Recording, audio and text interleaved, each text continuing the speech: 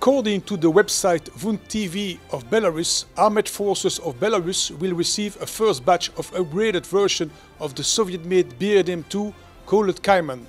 A first prototype of the vehicle will be delivered to the Belarus Armed Forces for trials. The Caiman 4x4 armored vehicle is based on the Soviet-made BRDM-2 4x4 reconnaissance vehicle designed in Belarus by engineers of the 140 repair plant. The vehicle was unveiled in 2015 and a first public demonstration was performed during a military parade in July 2016. The Caiman consists of a new design completely different compared to the old BRDM-2 and that is very close to the design of the German-made Fennec 4x4 reconnaissance vehicle in service with the German and the Dutch army.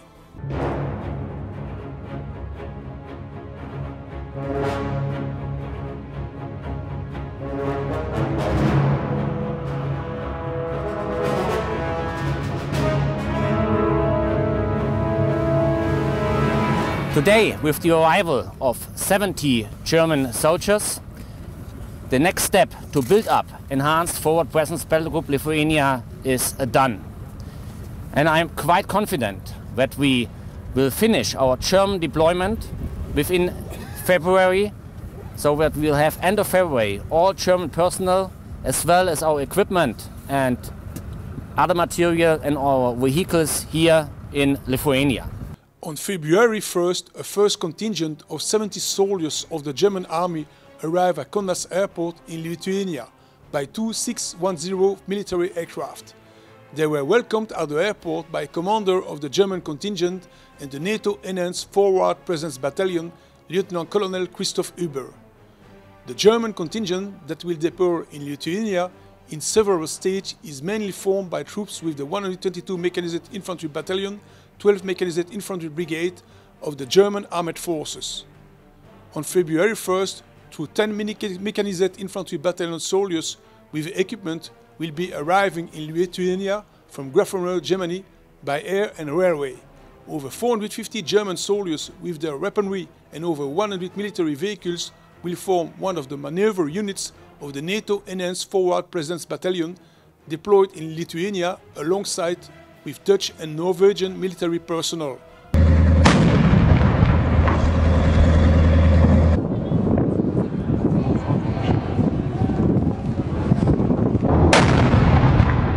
Turkey has launched a new request to upgrade German Leopard 2A4 and American main battle tanks M60A3 in service with the Turkish armed forces.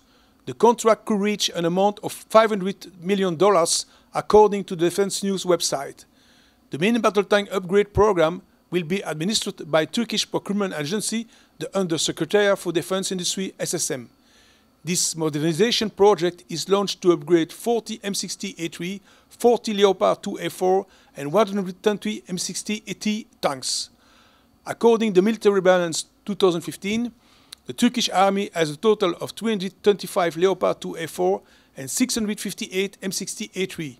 Between 2007 and 2009, 170 Turkish M60A3 main battle tanks were upgraded with the Sabra Mk2 package developed by Israeli military industry.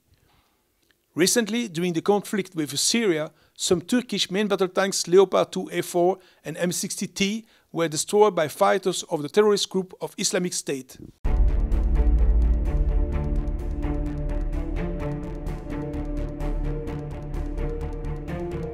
According to the Turkish daily Sabah newspaper website, Turkey has continued its negotiation with Russia regarding the purchase of the Russian S-400 surface-to-air defense missile system, sources in the Turkish government have confirmed. Since many years, Turkey is looking to spend between 3 to 4 billion dollars for a new air defense missile system as a part of its T-LORAMIDS program. The S-400 Triumph SA-21 is a long-range surface-to-air missile system produced by the Russian company Almaz-Antey. The S-400 Triumph is intended to engage a wide range of aerial threats, including tactical aircraft, medium-range ballistic missiles, and other current and future air attack assets at a maximum range of 400 km and an altitude of up to 30 km.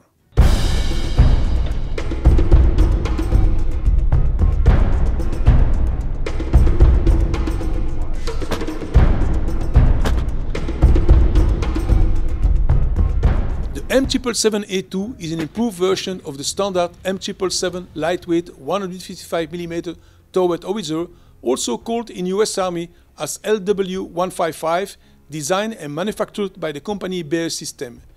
The M777A2 is a towed 155mm howitzer jointly developed by the US Army and US Marine Corps to replace the M198 155mm towed howitzer.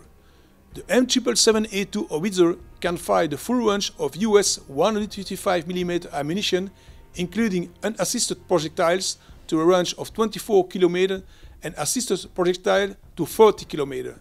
With the upgraded fire control system, it can also fire Excalibur precision 155mm projectiles, global positioning system, guided, extended range artillery projectiles M982 and M982A1 at a maximum range of 40 km. In the US Army and Marine Corps, the M777A2 is towed by the 7-ton medium tactical vehicle replacement truck. It can be easily transported by air in a number of transport aircraft, including the C-131, the C-141, the C-5 and the C-160 Transall.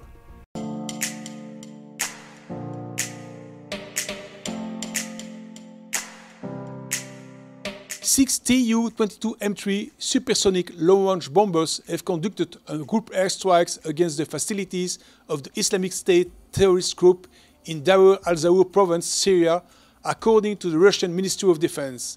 Tu-22M3 long-range bombers have been participating in the operation against terrorists in Syria since November 2015.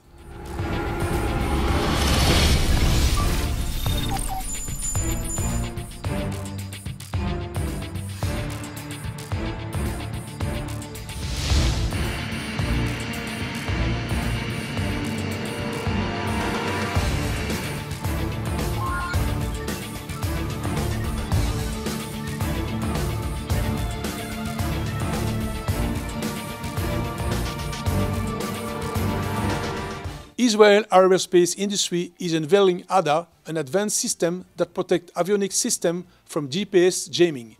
ADA has already been integrated into several systems and platforms operating both in Israel and abroad. The ADA system recently won a tender from Israel Ministry of Defense for integration into one of the main platforms of the Israel Air Force.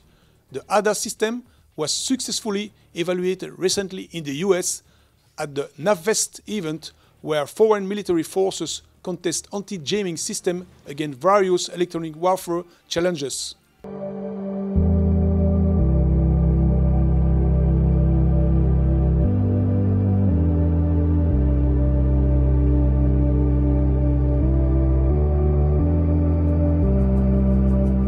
Russia officially presented its MiG-35 fourth generation fighter jet in an official ceremony organized in Moscow.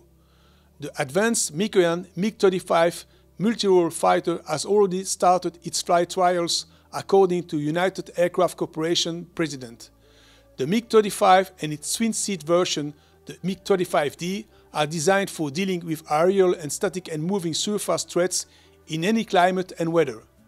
The MiG-35 and MiG-35D features setting them apart from the rest of the MiG-29 family is the fifth generation information and targeting system integrated with the avionics suite, Russian and foreign-made weapon implement capability, and enhanced combat stability achieved owing to sophisticated electronic warfare gear.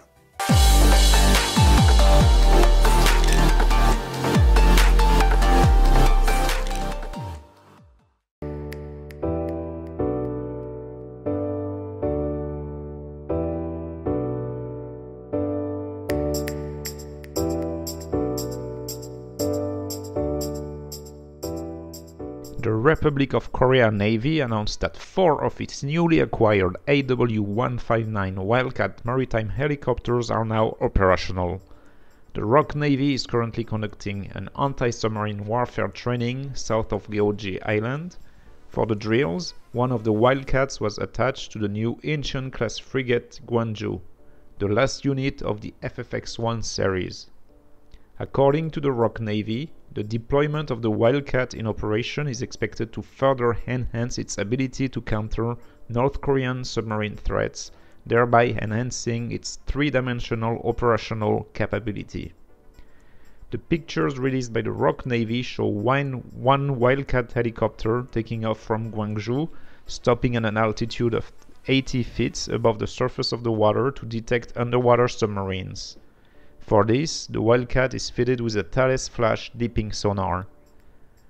Once a simulated threat was detected, the Wildcat dropped four sonobuoys to determine its exact location. Shortly after, the Wildcat crew received the order to engage, the Wildcat quickly released two Blue Shark training torpedoes.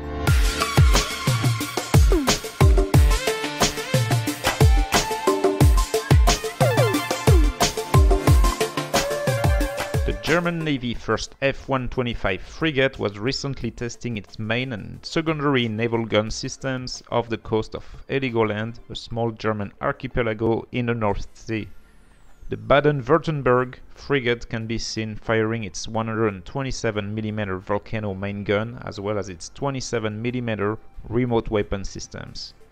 The 127mm lightweight Vulcano gun system is designed by Leonardo from Italy. Its guided long-range ammunition extends the range of the gun up to 100 kilometers.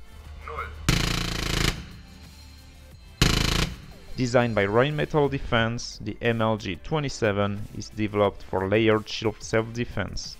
It can engage air and surface targets, including high-speed, highly maneuverable watercraft and targets onshore. The first F-125 frigate started sea trials off the coast of Denmark in July last year. A total of four vessels will be built for the German Navy.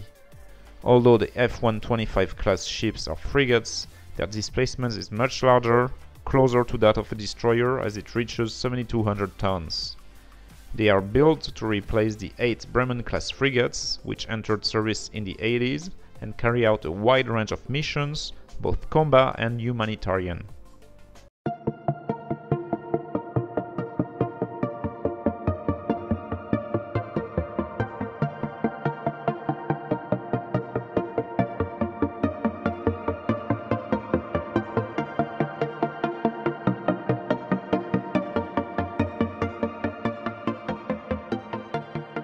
5 E-2D Advanced Hawkeye carrier-capable tactical airborne early warning aircraft assigned to the Tiger Tails of Carrier Airborne Early Warning Squadron 125 arrived at Marine Corps Air Station Iwakuni in Japan.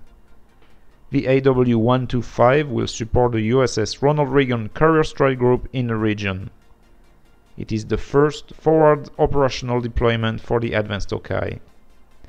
Built by Northrop Grumman, the E-2D is the US Navy's latest variant of the E-2 platform and features a number of upgrades over the older E-2C variant. Improvements include an all-new electronic suite, enhanced turboprop engines, modernized communications, and upgrade potential for mid-air refueling capabilities. The US Navy first took delivery of the E-2D in July of 2010 and began a phase replacement of the E-2C aircraft which has served the fleet since 1973. The Advanced Hawkeye's new APY-9 radar merges a traditional mechanically scanned antenna with steerable electronic scanning. The radar qualities are an increased range, enhanced detectability of air targets both over sea and land, surface target tracking out of horizon, reduction of clutter in coastal area, and overland and long-range detection of cruise missile.